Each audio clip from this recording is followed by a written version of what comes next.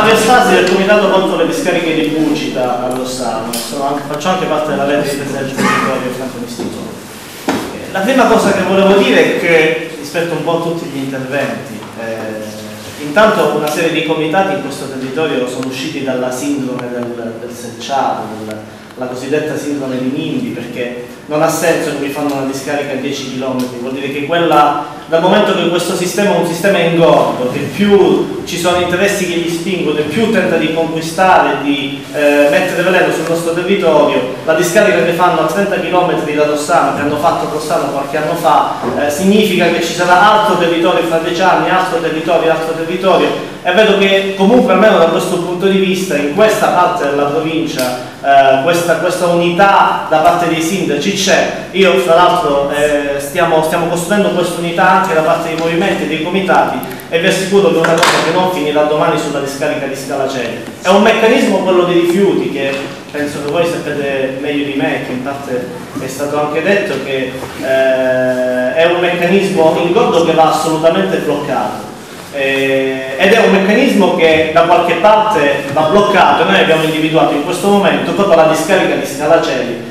per disinnescare questo, eh, dire, questo, mostro che da 14 anni sotto il commissariamento, ma da, da decenni, eh, sta eh, divorando il nostro territorio spinto dai interessi personali. La prima cosa che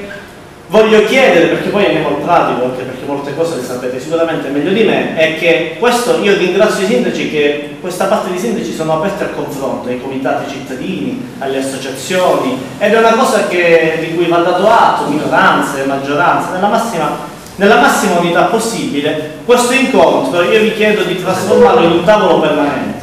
Da qui fino a che noi non vinciamo questa battaglia, cioè fino a quando la sospensione eh, di, questa, di, questi procedimenti, fino a quando la discarica di Scalacelli è stato semplicemente un brutto sogno, ci svegliamo e non ci sarà più, io vi chiedo di trasformare questa cosa in un tavolo permanente, sarà semplicemente per me, dal momento che poi la dialettica politica è passione, soprattutto in un, in un territorio, penso in un piccolo comune come Scalacelli, è normale che la dialettica politica si trasformi poi in scontro, però io credo che già la partecipazione costante, la presa di posizione pubblica costante, delle istituzioni ad un tavolo permanente insieme ai comitati che a differenza della Biego che fa il proprio dovere, chiaramente la è eh, una, una, società a scopo di lucro e tenta di curare i propri interessi, fa lucro, eh, poco importa se per fare lucro c'è bisogno di vendere eh, banane oppure di prendere territorio e metterci monezza dentro. Quindi la prima richiesta che faccio è ritengo che l'adesione e la partecipazione, la presa di posizione pubblica costante a questo tavolo permanente sia anche come dire un, un, modo per togliere in mezzo tanti equivoci, no? perché se di equivoci si tratta, penso che la partecipazione ad un tavolo permanente insieme ai comitati cittadini e spontanei faccia in un qualche modo da gomma la partecipazione a questo tavolo possa essere anche un modo per cominciare a programmare il territorio insieme ai cittadini, per avviare la partecipazione attiva.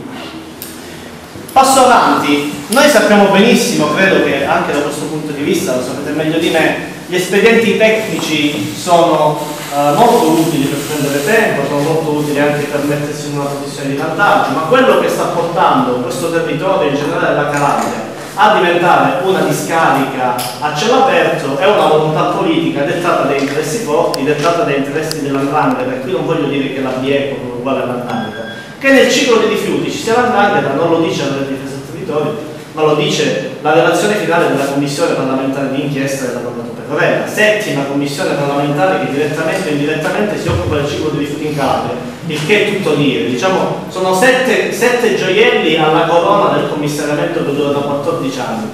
E se questo è vero, noi a volontà politica e interessi politici particolari, dal mio modesto punto di vista, penso sia condiviso, dobbiamo contrapporre una chiara volontà politica del territorio e i chiari interessi collettivi, perché purtroppo eh, gli interessi particolari si contrappongono, nostro malgrado, costantemente agli interessi collettivi. E magari,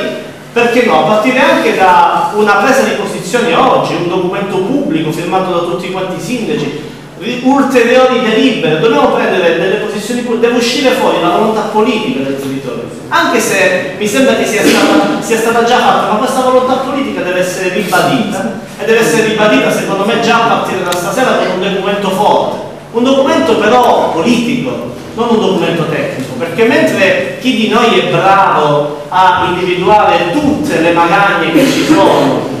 degli, esped dire, degli, espedienti tecnici dietro cui si maschera la volontà politica, noi dobbiamo fare dei documenti politici. Dobbiamo dire che questo territorio non ne può più della gestione commissariale, dobbiamo dire che questo territorio non ne può più di avere una regione che non si occupa di creare una filiera della raccolta differenziata, di finanziare delle società pubbliche, ma eh, è una regione che si occupa al di là del colore politico. Anche questo nella precedente penso noi mi sembra che il comune di Cariati c'è, anche in altri comuni, dobbiamo avere la capacità di, al di là del colore politico della regione, poi ognuno di noi sa chi sono gli esponenti della regione, chi sono i commissari, i subcommissari, ognuno di noi sa, dobbiamo avere la capacità di individuare nella regione non una controparte, ma sicuramente un'istituzione che sbaglia. E se da, da, molti, da molto tempo e da più parti, da parte nostra c'è una sfiducia nei confronti anche delle istituzioni locali, coloro che rappresentano le istituzioni locali ce ne daranno atto. Purtroppo, se siamo in questa situazione, voi stesso l'avete denunciato di continuo, ci sono delle istituzioni che sbagliano, chiamiamole sviste, chiamiamole eh, poca accortezza, ma ci sono delle istituzioni che sbagliano. Da questo punto di vista, anche perché voglio dire, il commissario, gli assessori regionali, e i governi, i presidenti del Consiglio che hanno ricevuto la richiesta di proroga del commissariamento, l'hanno accettata ed hanno nominato su richiesta del presidente del Consiglio della Regione il commissario, tutti gli anni sono stati di qualsiasi colore, da 14 anni a questa parte è possibile, sia la Regione che al governo si sono avvicendati molti governi, per cui noi dobbiamo avere la capacità di ribadire questa cosa e di fare in modo che la Regione senta il peso di questo territorio. Le istituzioni a fianco di comitati cittadini, della, della cittadinanza, quindi vi chiedo anche una presa di posizione pubblica a partire da ora e anche l'adesione, perché da questo punto di vista noi non, non, sicuramente non stiamo, non stiamo mani nelle mani, facciamo tra virgolette il nostro dovere di cittadini, cittadini attenti, purtroppo sappiamo che non tutti i cittadini sono attenti. Noi da cittadini attenti abbiamo convocato una manifestazione il 10 dicembre, non ricordo se il 10 o il 12 dicembre, ne convocheremo un'altra.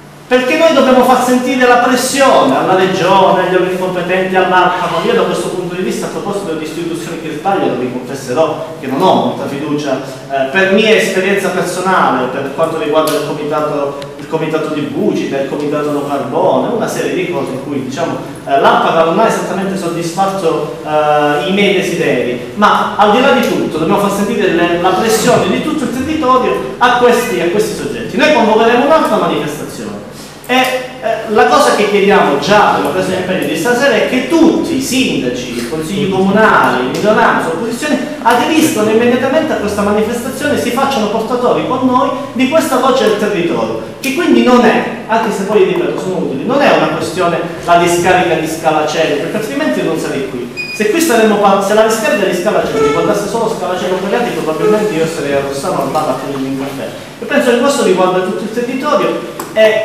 quindi chiedo questa, questa, adesione, questo documento pubblico che sia un documento politico che sia contro la gestione al di là del colore politico, privatistica per interessi individuali, eh, commissariale, emergenziale della regione, di tutte le sue istituzioni. E questo documento eh, io personalmente come comitato, difesa, come comitato di difesa di Bucita, la legge di difesa del territorio, lo useremo lo useremo e ci date a noi strumenti, come noi diamo lo strumento a voi, diceva prima benissimo il sindaco, l'opinione pubblica è uno strumento nei confronti del, eh, per, per, un amministratore che ha buona volontà.